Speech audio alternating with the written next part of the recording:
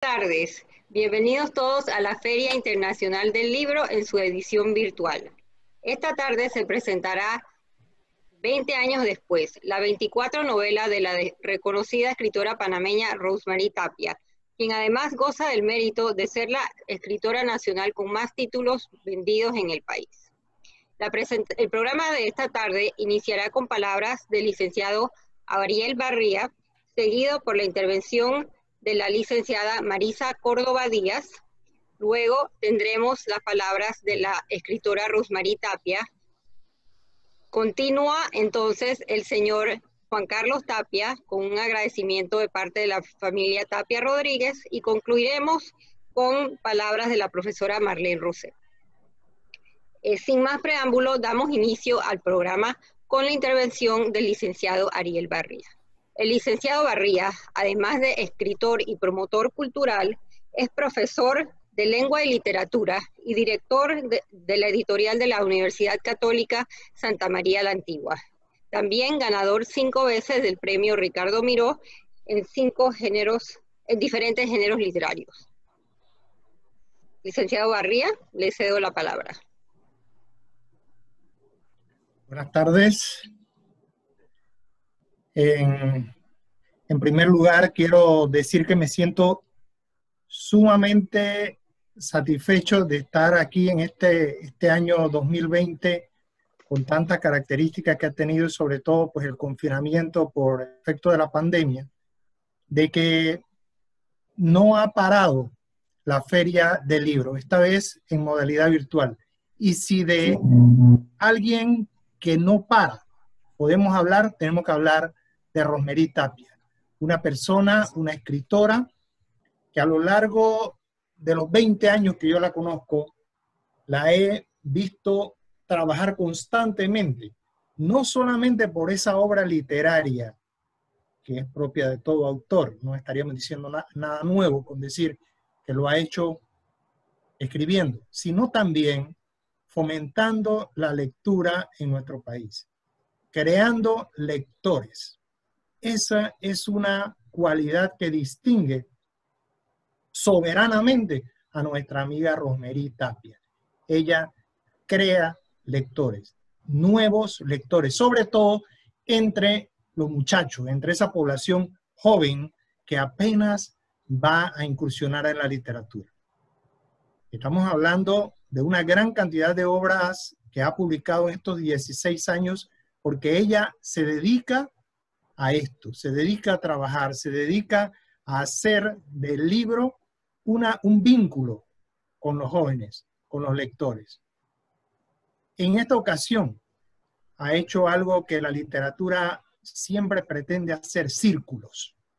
Esos círculos de los que se complace la historia, de los que se engolosina la literatura muchas veces para crear esas historias que dan vueltas en una misma obra y regresan al punto inicial. Pero en este caso, ella ha hecho algo más. Ella ha hecho un acto que podríamos nosotros decir que pocas veces se logra. A lo largo de una buena cantidad de libros, escuché 16 obras que ha publicado, ella regresa a uno de sus principios. Yo creo que Roberto por el buen camino marca, sin duda, la carrera de Rosemary Tapia. Pero Roberto es un personaje que todos conocemos, lo que hemos leído su obra, y yo la he leído, todos conocemos a Roberto como, una, como un muchacho extraído de la calle, con todos los riesgos que eso conlleva. Pero en esta ocasión ella ha hecho traer la historia, ponerla nuevamente sobre el tapete y presentarnos a Roberto por el buen camino 20 años después. Es decir, ¿qué ha ocurrido en esos 20 años? Eso es lo que vamos a ver. Eso es lo que vamos a ver. Yo estoy muy complacido de ver a Romerí en esta faceta, trayendo a un personaje que ya lo teníamos en la historia literaria, tanto de ella como de nuestro país. Roberto buen camino, un título sumamente conocido. Y ella lo trae de vuelta y lo coloca otra vez en el ambiente literario. Eso es un gran logro. Yo me alegro muchísimo e invito a todos los lectores que aquellos que no conocen a Roberto por el buen camino, vamos a regresar y vamos a conocer esa obra. Pero también a los que la conocen, vamos a ver qué pasó durante todo este tiempo, no solamente con Roberto, por ese buen camino, sino también por todas las personas, los personajes que actuaron en esa obra. En ese sentido, me complace muchísimo. Saludo con todo mi aprecio en la llegada de esta nueva obra e invito a los lectores a leerla para que conozcan qué ha pasado con este joven llamado Roberto, que ha caminado una senda bastante particular. Así que, lectores, tienen ustedes en sus manos esta nueva obra. Romerí, te doy un abrazo así totalmente alejado de distanciamientos sociales, porque lo mereces por tu trabajo constante, por tu producción y sobre todo por ese afán de crear nuevos lectores. Muchas gracias a ustedes y a comprar el libro y adquirirlo en esta feria virtual. Gracias, licenciado Barría. Eh, ahora le tocan las palabras a la licenciada Marisa Córdoba.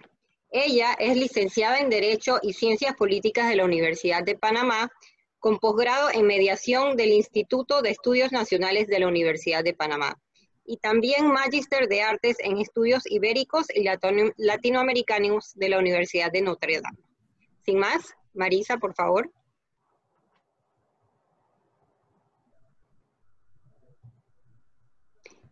Marisa, tienes que abrir el micrófono.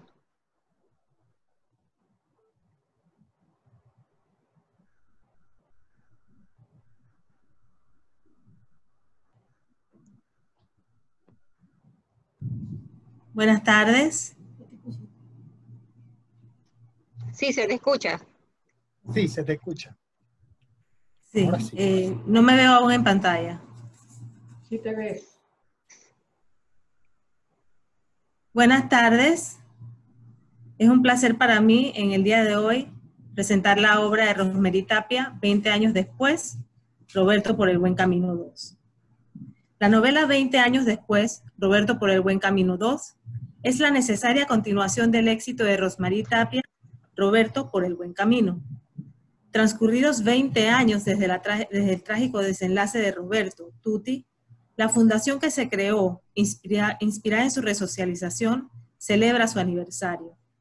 Sus fundadores, miembros de las familias de dos víctimas de la delincuencia juvenil, festejan dos décadas en las que el espíritu de reconciliación les ha permitido aportar a la sociedad mediante la rehabilitación, reinserción social y laboral, capacitación y autogestión a través del emprendimiento de niños y jóvenes en riesgo social.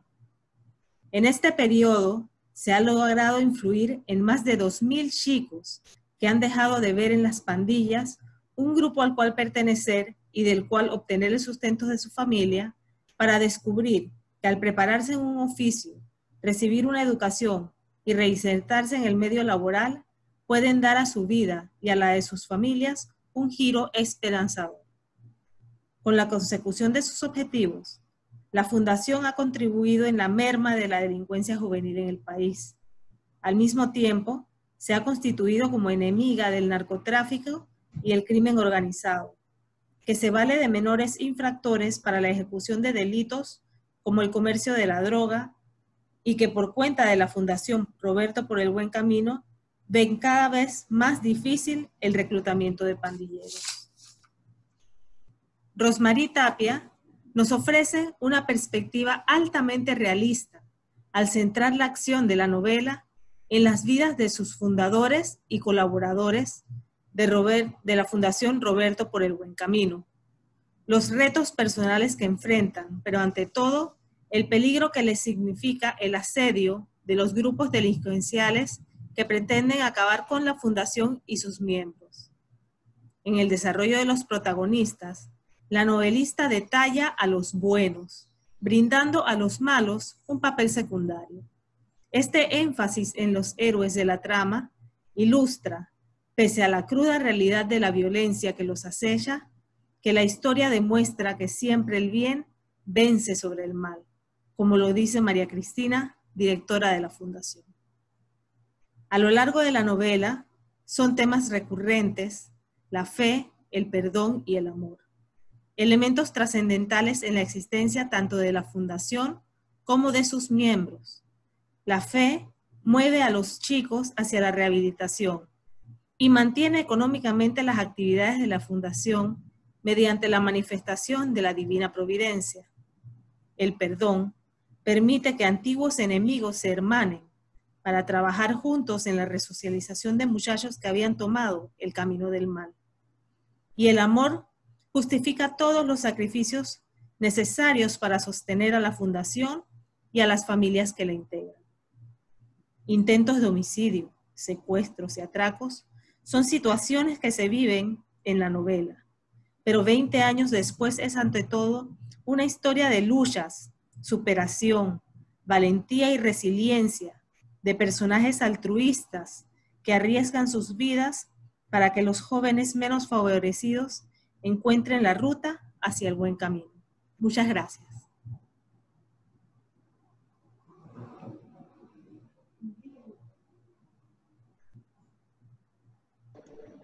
Gracias a ti, Marisa. Ahora viene la escritora Rosmarie Tapia.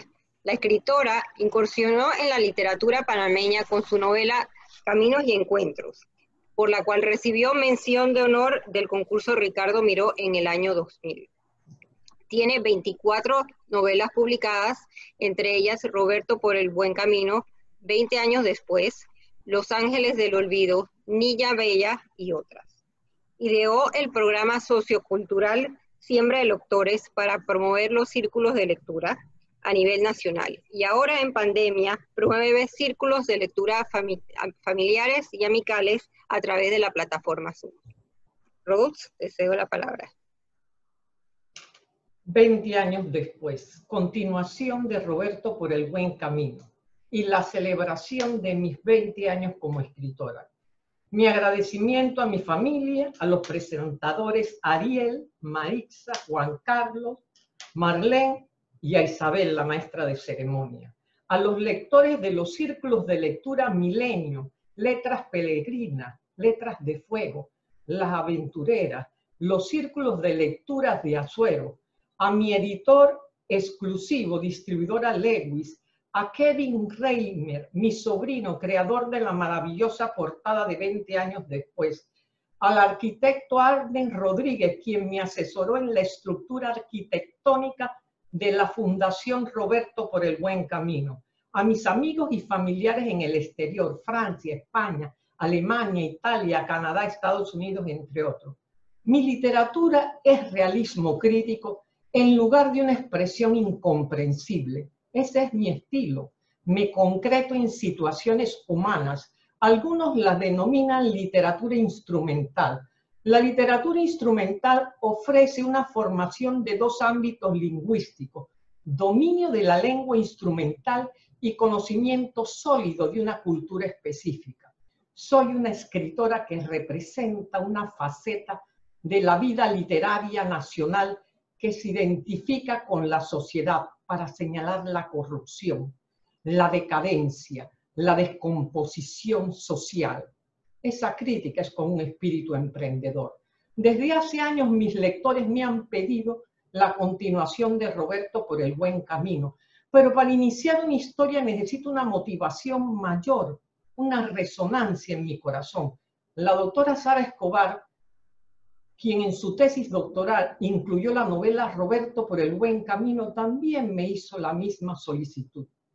No obstante, mi sobrino Salomón Díaz Saturno, esposo de mi querida sobrina Cristi Tapia, me llevó a Raiján a la Fundación Creo en Ti. En ese lugar sentí la necesidad de continuar la historia de Roberto por el buen camino. Esa fundación ofrece hogar, comida, acompañamiento espiritual a los jóvenes en riesgo social para minimizar la deserción escolar. El conversatorio con esos jóvenes fue determinante en mi decisión una de las madres me comentó que cuando sus hijos deciden tomar el buen camino, el maligno se interpone y una serie de desgracias desmotivan sus buenos propósitos. Entonces supe, sin lugar a dudas, ¿quién sería el personaje principal de 20 años después? Mami, la madre de Tuti. El personaje de Mami representa a esas mujeres que a pesar de la pobreza, la muerte de varios hijos, tuvo la reincidencia necesaria para superar la tragedia, capacitarse y reeducar a su familia en valores. Ella día a día renovaba su esperanza. Roberto, que con su cambio, incluso con su muerte, dejó un legado indestructible y un mensaje de que siempre se puede retomar el buen camino y ser un ciudadano de bien. Cuando se publicó la novela Roberto por el buen camino, no habían proliferado las fundaciones de ayuda a los chicos en riesgo social. Una persona me dijo que la fundación de mi novela era una utopía, pero solo aquellos que encarnamos la utopía logramos el cambio. Mi amiga, la comisionada María Angélica Celi, iba a hacer la fundación y la había autorizado a que les designara el nombre de Roberto por el buen camino. No obstante, murió en el accidente del helicóptero en el 2008. Esa aparente utopía fue encarnada por varias fundaciones ya conocidas por ustedes. La novela tiene escenas tristes, devastadoras, pero la vida de esos chicos y su familia es así de dura. No podemos cerrar los ojos e ignorar esa realidad. Con una actitud solidaria podemos ir cambiando la misma porque ellos necesitan una mano que cuando no tengan fuerzas para luchar contra la adversidad, los apoye y los ayude a caminar sin miedo. No crean que tengo una visión romántica de la realidad. Hay delincuentes que es imposible redimirlo. Lo observamos en la novela, pero la gran mayoría son chicos sin familia o con una familia disfuncional y buscan en las pantillas pertenencia. La única forma de combatir la delincuencia es minimizando la deserción escolar. Si estos chicos estudian, consiguen un trabajo, una autogestión, ellos no saldrían a la calle a jugarse la vida, porque como lo demuestra el mensaje de la novela de Roberto por el buen camino, el crimen no paga. La vida de los delincuentes es corta y le espera la cárcel o el cementerio.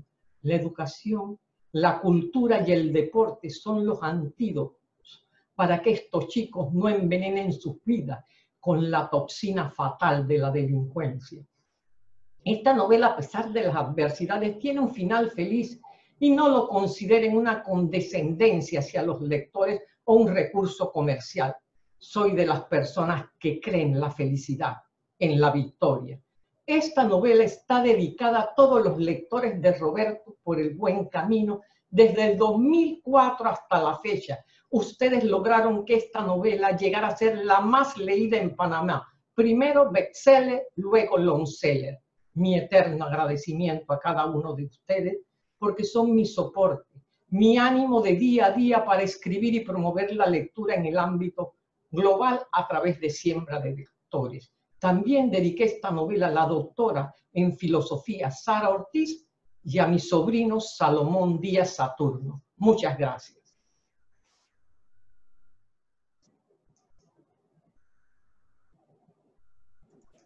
Gracias, Rose. Eh, ahora le toca el turno al señor Juan Carlos Tapia. Eh, eh, señor Tapia está con nosotros?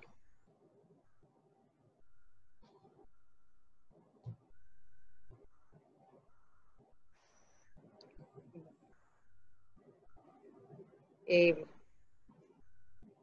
bueno, por mientras encontramos al señor Tapia, eh, le cedo la palabra a la señora Marlene Rosero, quien es profesora del Fermín Dodo y de otras universidades de Panamá. Señora Marlene, el... Gracias, buenas tardes. Gracias, buenas tardes, Dios les bendiga. ¿Me escuchan? Sí. Gracias. Bueno, la verdad que me siento muy contenta y privilegiada de estar aquí. Gracias, Rosemary. Tenemos 20 años de conocernos. Nos conocimos con Roberto por el buen camino. Aquí estoy con mis estudiantes del Instituto Fermino II y aquí están los padres de familia también que quisieron entrar a la conferencia y están los estudiantes de medicina de la Latina y de la UAM.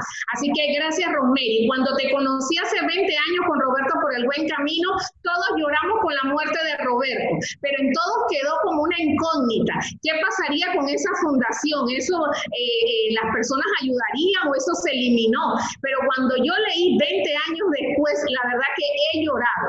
He llorado porque las personas siguieron ayudando a la fundación y le pusieron alma, vida y corazón. Y uno de los personajes que a mí me, me impresionó, cómo usted lo caracterizó, fue a Mami. Porque Mami no solamente perdió a Roberto, Mami perdió después de 20 años a dos hijas que por cuestiones de malas decisiones de ellas mueren. Pero con todo y eso, Mami sigue ayudando a la fundación y a las personas. Y ahí yo veo ese versículo bíblico que dice ayudar siempre y en todo momento. Yo creo que esta es una novela para todos los jóvenes, para estas generaciones, que en medio de esta pandemia tenemos que ayudarnos unos con otros para salir adelante.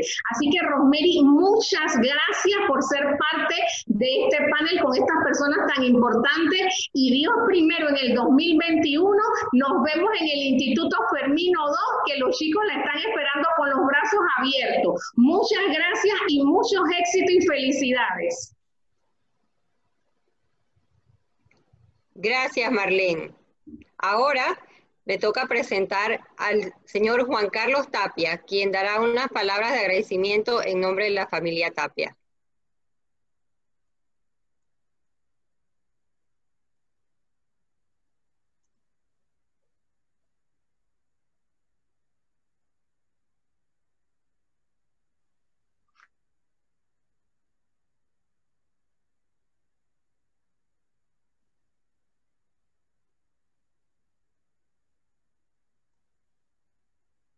No silenciar. ¿Me escuchan ahora? Ya, ahora sí, ahora sí. Ok. Ya, ya, ya. Lo primero que debo aclarar es que estoy desde el principio y no había manera que me autorizaran. Rosemary, tu hermano llegó 15 minutos antes. El técnico sencillamente no autorizaba y lamentablemente yo estaba acá como un papagayo diciendo estoy aquí, estoy aquí, estoy aquí. Pero bueno, ya tenemos la señal. ¿Qué puedo agregar en un año más donde em, me toca agradecer en nombre de la familia por la presentación del nuevo libro de mi hermana Rosemary? Hay una razón por la cual Rosemary escribe así.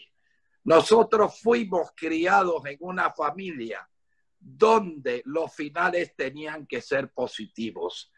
Y nosotros siempre, todos los hermanos hemos sido tan positivos. Y esa es la gran característica de Rosemary. Que Rosemary para mí, el éxito de sus eh, libros, yo diría que se basa en, en varias, eh, en dos aspectos importantes. El poder que tiene de pescarte desde las primeras horas, hojas, y el poder que tiene de voltear el argumento, el argumento para un final feliz.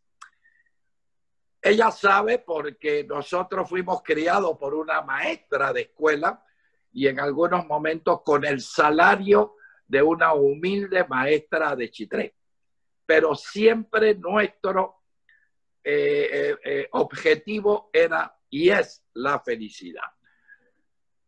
Cuando tú hablas de una autora, de una escritora, que en una sola obra ha vendido en su tierra, en Panamá, más de 100 mil ejemplares, estás hablando de una escritora, probablemente la número uno en venta en Panamá. Eso por un lado. Segundo, yo no tengo la duda, no tengo la menor duda de que 20 años después va a ser recomendada como texto obligatorio de lectura por el Ministerio de Educación, porque es una enseñanza de vida. Así como lo, lo logró Roberto por el buen camino, estoy seguro que esta es la continuación y merece que la juventud panameña conozca, que lea primero Roberto por el buen camino y que termine leyendo 20 años después. En nombre de la familia, en nombre de mis hijos, de mis hermanos, de mi hermana, que no está con nosotros, Egna, eh, quiero agradecer en nombre de todos los primos porque Rosemary tiene una ventaja, solo con la familia. Y los amigos, ella ya se garantiza un buen volumen de venta. Así es que en nombre de todos ellos, agradezco muchísimo, eh, eh, en nombre de la familia, el acompañarnos en un éxito más de mi hermana Rosemary Tapia. Gracias, Juan Carlos. Bueno, ahora les recuerdo que aquellos quienes quieran hacer preguntas en el chat box pueden hacerlas. Eh, voy a iniciar yo con la primera pregunta para la escritora Rosemary.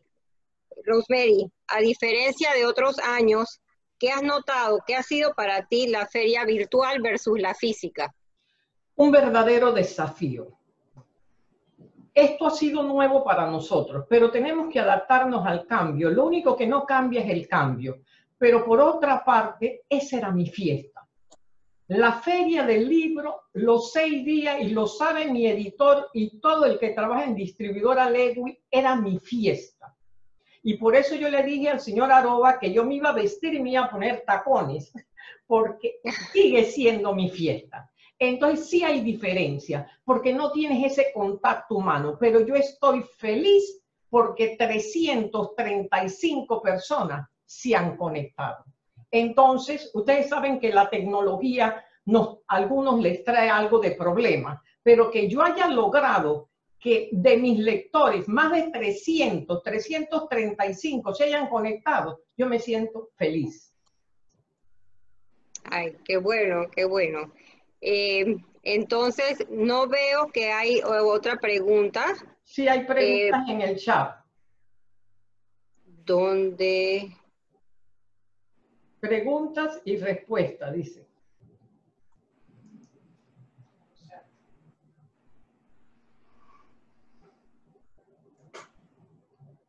Ok. ¿En qué ambiente se encontrará Roberto en esta novela y qué valores podemos encontrar y aprender en esta nueva historia? Bueno, Roberto dejó una huella. La muerte de Roberto fue una muerte redentora, porque cuando él estaba muriendo, él le dice a Luis Carlos, acuérdate de los muchachos, no dejes la fundación. Y ese es el ícono de cómo una persona puede cambiar de vida. Pero el fondo de esta novela cómo la persona puede superarse porque mami terminó la escuela secundaria y llegó a ser trabajadora social. Entonces su hijo fue médico civil especial en neurología. Entonces, ¿cómo una familia pobre puede salir a través del estudio de ese ambiente de decadencia, de ese ambiente de falencia? Ese es uno de los mensajes principales. Y Roberto Miren que todo el mundo cree que la fundación existe. Y ahí mi sobrino Kevin hizo la fundación de manera ficticia. Gracias. Tenemos otra pregunta, Rosemary. ¿Consideras que la novela ha cambiado tu manera de ver la vida? Sí. ¿Ha cambiado tu perspectiva de la vida? Cuando yo conocí a los chicos del centro de cumplimiento, yo creía que eran unos maleantes incapaces de redimirse. Pero cuando escuché la historia de estos chicos, sé que no tuvieron una orientación. El niño nace bueno, el entorno lo corrompe. Entonces, si le damos esa mano para sacarlo de la oscuridad a la luz, y no estoy promoviendo la impunidad, que paguen su deuda a la sociedad, pero una vez que pagan la deuda a la sociedad, darle la oportunidad de retomar el buen camino.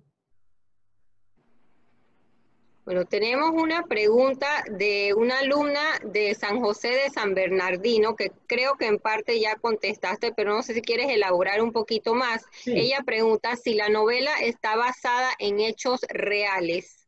Eso es muy importante. No, pero yo hice una investigación cuando mi sobrino, Monsi para la familia, me llevó a la fundación y yo conversé con los chicos. Entonces, aunque no sea la historia de ninguno en particular, es lo que les pasa a los chicos en riesgo social que abandonan la escuela. Eso les pasa. Ok, preguntan, ¿qué tanto tiempo te tomó crear la novela? ¿Qué tanto tiempo te tomó, además, para que esta novela obtenga el seguimiento de los lectores? Bueno, a escribir la novela me toma a mí casi siempre como nueve meses, a excepción de en pandemia que tenía todo el tiempo del mundo y ya hice una novela. Pero, ¿por qué? Porque yo escribo todos los días. Hay escritores que dicen, cinco años escribí esta novela, pero en enero eh, escribieron una hora, en febrero los carnavales, en marzo hacía calor, en abril la Semana Santa, y así se van, en mayo está lloviendo, en junio San Juan, y al final diez años para escribir un libro. Entonces yo sí tengo una disciplina espartana que escribe todos los días y descanso el domingo. Ok. Eh, otra pregunta de un estudiante, pero ha preferido quedar anónimo. Dice que, la, creo que la mayoría de los estudiantes hemos leído al menos una de sus novelas durante nuestra etapa escolar y esto nos ha incentivado a volvernos lectores. ¿Qué mensaje le manda a los estudiantes que estamos conectados? Llevo 12 años leyendo sus novelas y de aquí inicio camino a escribir. Yo le voy a decir que ya lleva el primer escalón, que es la lectura. Una vez que usted lee, usted puede autoformarse o buscar los seminarios que está dando el Ministerio de Cultura con excelentes profesores y tener ese entrenamiento pero a escribir se aprende leyendo y escribiendo. Lo único que tiene que hacer es atreverse y comenzar. Y los, los seminarios son muy buenos y yo se los recomiendo. Uno de los profesores es Ariel Barría, el otro Salvador Medina. Son excelentes profesores.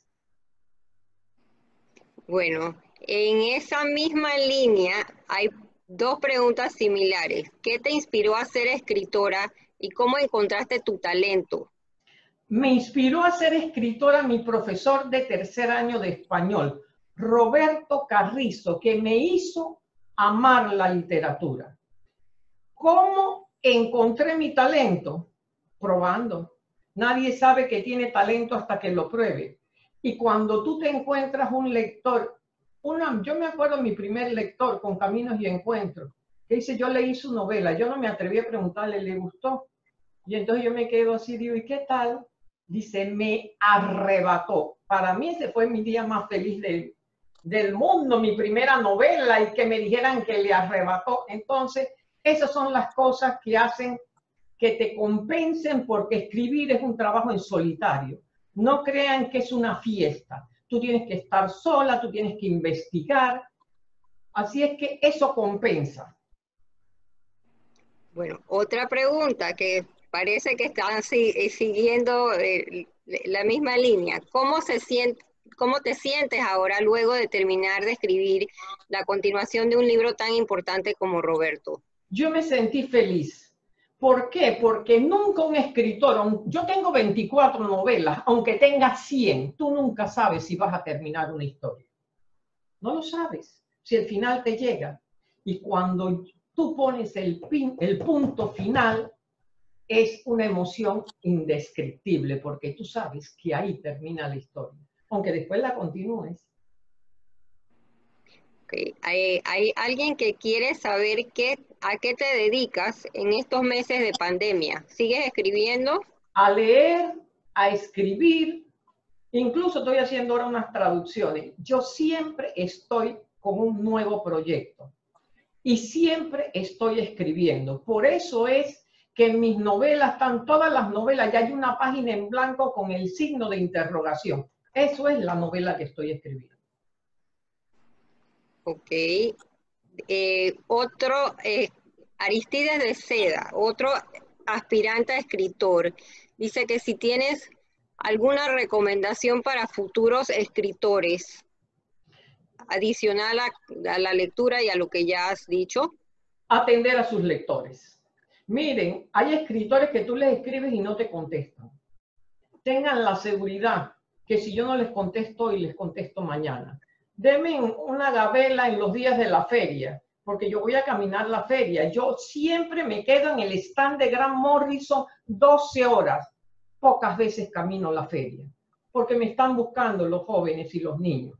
Esta vez, con mi avatar, yo camino la feria de un lado a otro. Así que después de la feria les contesto.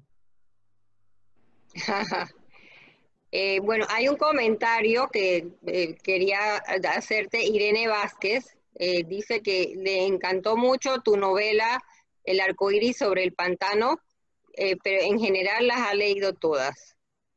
El arco iris sobre el pantano es una novela hermosa porque está la maestra sombra, esa que construye un puente de amor para incluir a un niño con un leve autismo, el síndrome de Asperger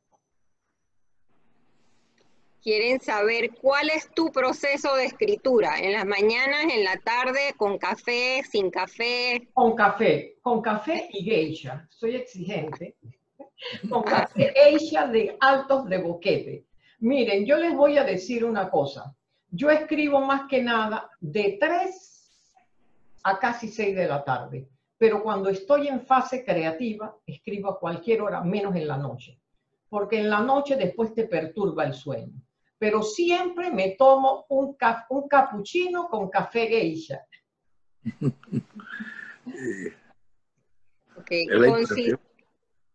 ¿Considera usted, escritora, que esta novela impactará tanto como impactó Roberto?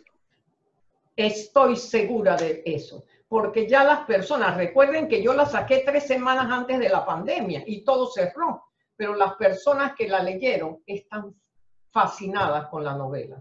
Entonces esta es una novela que no los dejará indiferentes.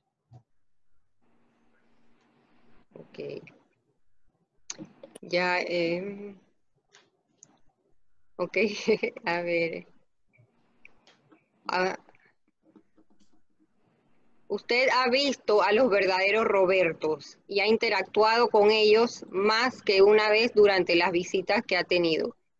Eh, ha podido dar seguimiento y ver los resultados de resiliencia de sus vidas? Excelente pregunta. Los 17 chicos que presentaron la novela de Roberto por el buen camino, que estuvieron allí del centro de cumplimiento, 16 no han regresado a prisión y tienen una vida productiva, me van a ver a la feria y todos me dicen madrina.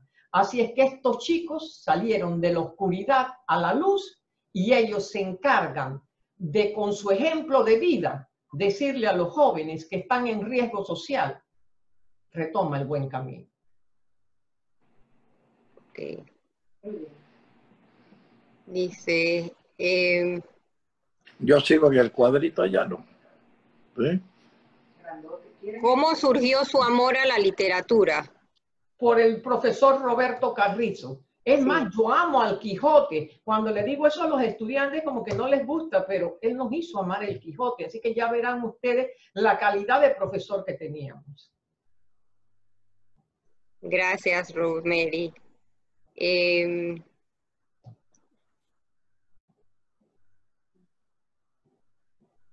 ok, preguntan, desde tu perspectiva, ¿pudiste observar que la mayoría de los jóvenes tienen esperanza en sus mentes o necesitan mucho apoyo y se encuentran pesimistas del futuro? Yo creo que necesitan apoyo, pero en el fondo de su corazón albergan la esperanza de una mejor vida. Ok.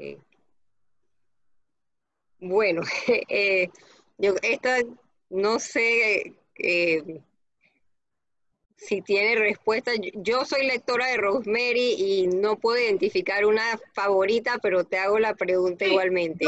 ¿Cuál es tu novela favorita y cuál nos recomiendas? respuesta yo creo que tenemos que cerrar. Vida de compromiso, la historia de mi madre, una educadora, una madre ejemplar. Esa es mi novela favorita y la va a ser siempre. Ok, bueno, gracias Rosemary.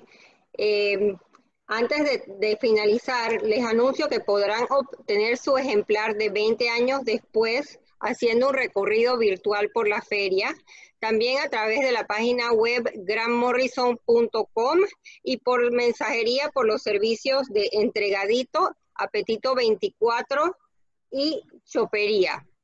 En nombre de la escritora de editorial de la distribuidora Lewis y de la Cámara del Libro, quiero darle las gracias a todos por habernos acompañado. Buenas tardes. Disfruten la feria.